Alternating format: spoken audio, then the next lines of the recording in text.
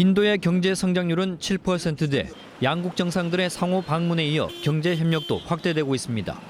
하지만 지역 기업들은 정보 부족으로 인도 시장 진출에 어려움을 겪고 있습니다.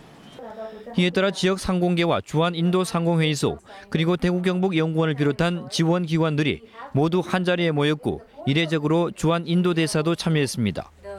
대구 경북과 인도 교류 협력 포럼에서 주한 인도 대사는 기조 연설을 통해 지역의 섬유나 기계 부품, 특히 수처리를 비롯한 물산업은 인도 시장 진출 가능성이 있다고 밝혔습니다. I think the area where I would really want to uh, want to invest a lot of my time and energy is that on uh, water, waste treatment, waste handling, uh, energy. I think these are the opportunity areas for the future.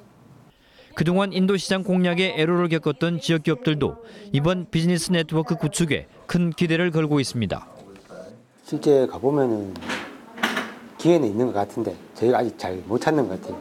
그래서 지금 현지 분들이 오셔서 또 설명해 주시고 그리고 또 연구원에서도 지원해 주시면 접근하기가 좀 용이하지, 용이하지 않겠나. 우리나라와 인도의 지난해 교역 규모는 미국 달러 기준으로 250억 달러, 2030년까지 500억 달러로 확대될 것으로 전망됩니다. 지역 상공계는 주한 인도 상공회의소 등과 결성한 포럼이 지역 업체들의 인도 시장 진출을 활성화하는 촉매제가 될 것으로 기대하고 있습니다. TBC 이혁동입니다.